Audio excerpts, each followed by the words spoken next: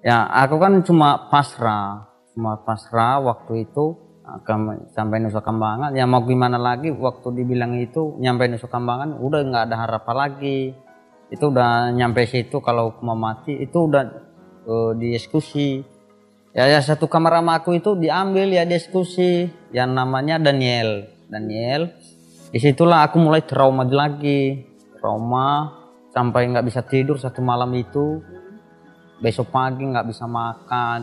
Satu minggu itu satu minggu nggak bisa makan nggak bisa tidur. Beda kalau di di dalam penjara beda kalau di luar. Kalau di luar bisa kita ke mana-mana jalan-jalan. Tapi kalau di penjara cuma pikiran ke mana-mana tapi fisik tetap di situ.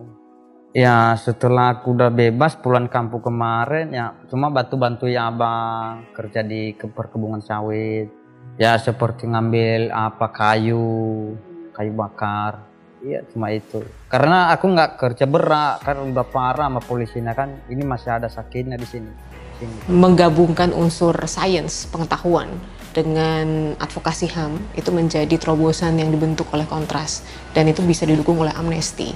Dalam kesempatan ini memang Kontras championnya gitu ya.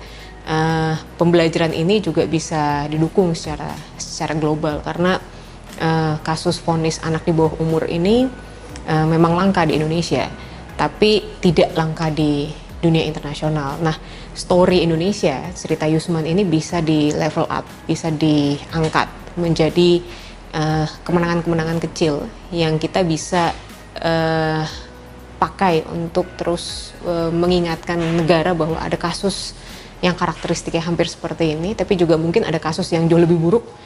Uh, terutama uh, untuk mereka yang non warga negara Indonesia. Ya, waktu itu kartu yang pertama aku terima itu kelapa, pohon kelapa. Kan ada tulisannya bahasa Indonesia, dibilangin kamu tetap semangat seperti kelapa ini.